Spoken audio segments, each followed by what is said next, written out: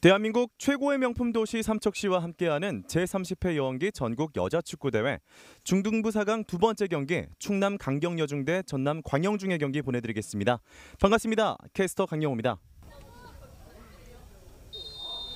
네, 주심의 휘슬 소리와 함께 4강 두 번째 경기 시작했습니다.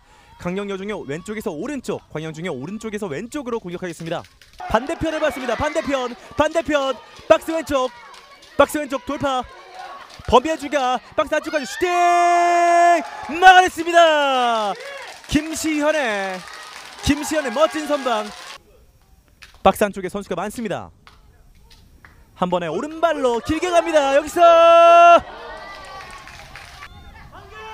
하프라인 근처 중원 싸움, 중원 싸움이 치열합니다. 윤다나가 전방으로 연결했고 공 살렸습니다. 지연, 지연 선수 앞쪽으로 아크 근처 1대1 슛! 골! 아 지금은 부심의 깃발이 올라갔습니다. 부심의 깃발이 올라갔습니다. 정미규, 황다빈 앞쪽으로 쇄도는 선수를 맞습니다. 안수정, 안수정 끝까지 안수정! 안수정이 박스 안쪽에서 좋은 움직임 보여줍니다. 살짝 내줬고 송현지 early 크로스 바로 앞쪽까지 슛 발에 제대로 얹히지 않으면서 유현우 선수 유현우의 오른발. 빗 맞았습니다. 오른발로 낮게 헤더! 골대를 살짝 넘어갔습니다. 주심의 휘슬과 함께 전반전 종료가 됐습니다. 강경여중 대 광영중 0대0 팽팽한 승부였고요. 저희는 하프타임 지나고 후반전에 다시 돌아오겠습니다.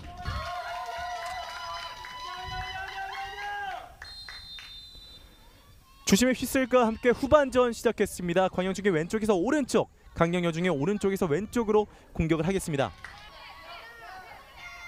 강경여중의 툭 차놓고 달립니다. 툭 차놓고 달립니다.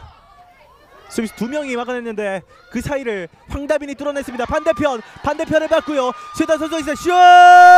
골! 골! 광영지 범예주 범예주가 후반 30 51분에 선제골을 꼽아냈습니다. 범예주 골. 여기서 황다빈이 반대편 세도하는 선수를 받고요. 한 번 튀긴 공을 스피드로 이겨내면서 그대로 골문 안으로 밀어 넣었습니다. 범예주. 스코어는 1대 0이 됐습니다. 김연아의 스로잉 공격 주고받았습니다.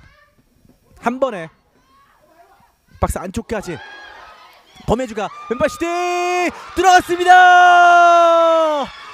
범예주가 지금은 골을 넣은 지 얼마 되지 않고서 cooling break 다시 재개가 되자마자 왼발로 왼발로 골을 넣었습니다. 범예주 이번 경기 두 번째 골 박스 안쪽에서 튀어나온 공을 공간이 열리자마자 바로 왼발로 골키퍼의 키를 살짝 넘기는 lobbing 슈팅을 성공했습니다 역스핀 범예주 공을 뺏어냈고요 윤다나 윤다나가 오른쪽으로 열어줍니다 오른쪽에 오른쪽에 송현지가 박스 안쪽까지 돌파 그리고 찍었습니다 찍었습니다 송현지가 페널티킥을 얻어냈습니다. 지혜와 이온, 이온과 지혜. 왼발로 들어갔습니다. 지혜 깔끔한 깔끔한 왼발 슈팅. 이온의 방향을 읽었지만 슛이 날카로웠습니다. 진경서의 헤더. 다시 한번 반대편을 받고요. 연결됐습니다. 안수정, 안수정 박스 안쪽으로 1대1 안수정 슛! 벗어났습니다. 안수정 조직력을 바탕으로 계속해서 공격을 걷어내고 있고요. 지금 연결됐습니다. 여기에서 지혜 들어갔습니다. 지혜가 지금 추가 시간에 동점골을 터뜨렸습니다.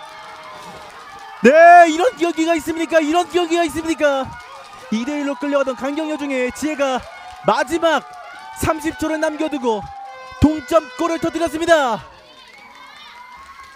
지혜 동점골 왼쪽으로 흐른 공을 왼발로 정확하게 좋은 선방을 보여주던 이현 골키퍼를 제치고 골문을 흔들었습니다. 스코어는 2대2 짧게 줬고요.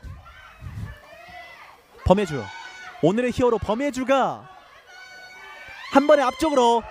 어 이게 뭔가요? 이게 뭔가요? 범해주 이게 뭔가요? 골이 들어갔습니다. 크로스를 올려줬는데 강력여중의 수비수 진들의 호흡이 맞지 않으면서 그대로 빨려 들어갔습니다. 마지막에 터치를 했나요? 마지막에 네, 지금 선수들 입장에 봐선 터치가 안 된 걸로 보이는데 범예주. 왼쪽으로 찍어 찼습니다. 범예주. 박스 안쪽까지 박스 안쪽까지. 왼발로 크로스 슈팅! 들어갔습니다! 들어갔습니다! 김효원의 왼발 김효원의 왼발. 지금 2대2의 균형을 깬 지 1분도 되지 않아서 김효원이 추가골을 장렬시켰습니다 네, 두 팀 모두 오늘 정말 멋진 경기 펼쳐졌습니다. 4강 두 번째 경기 명경기를 펼쳐졌고요. 대한민국 최고의 명품 도시 삼척시와 함께하는 제30회 여왕기 전국 여자 축구 대회 강경여중과 광영중의 경기 4대 2로 광영중의 승리로 막을 내렸습니다.